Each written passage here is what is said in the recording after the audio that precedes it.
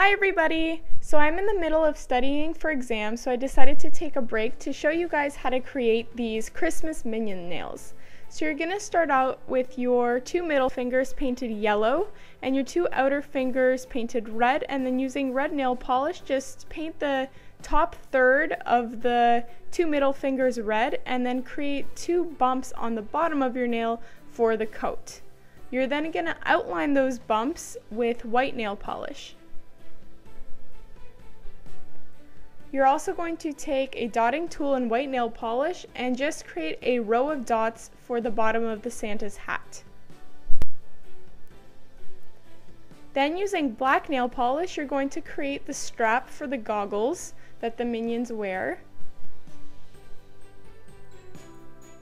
And using silver nail polish, create a dot for the eye, and then repeat this process with white nail polish to create the actual eye. You're going to also use black nail polish to create a small mouth. And using black nail polish, just create the pupil of the eye. On your two fingers that you painted red, you're just going to create Santa's buckle.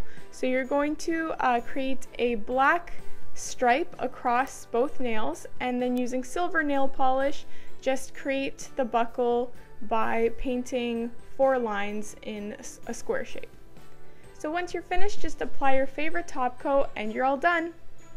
Thank you so much for watching guys and please don't forget to subscribe to my channel.